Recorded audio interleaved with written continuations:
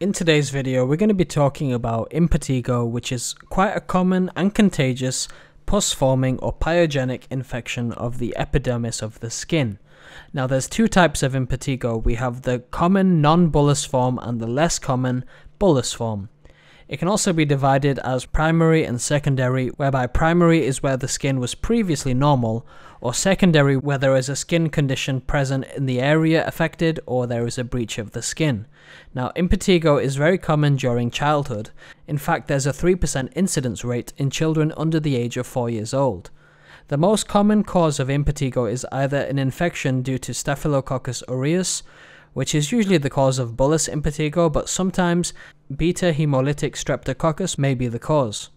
The main risk factor is contact with another infected individual and poor skin hygiene. Now, in terms of the appearance, in non bullous impetigo, initially we have the presentation of an itchy, uncomfortable vesicle, which often ruptures and oozes serous fluid. It then dries to form the typical golden coloured crust with this red erythematous base. The lesions are usually around 2 centimeters in size, and at the stage where the crust formation occurs, they are not usually painful or itchy, whereas in the initial stages, it can be itchy or uncomfortable. With bullous impetigo, there are intact blisters which are filled with this clear and cloudy fluid. They usually burst after around 2 to 3 days, and they look like this.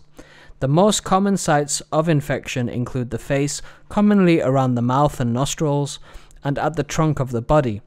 Usually, bullous impetigo affects the armpits and the neck folds. Diagnosis is usually done via a clinical examination. Swabs and samples can be taken and a culture can be grown to check the bacteria involved in the infection.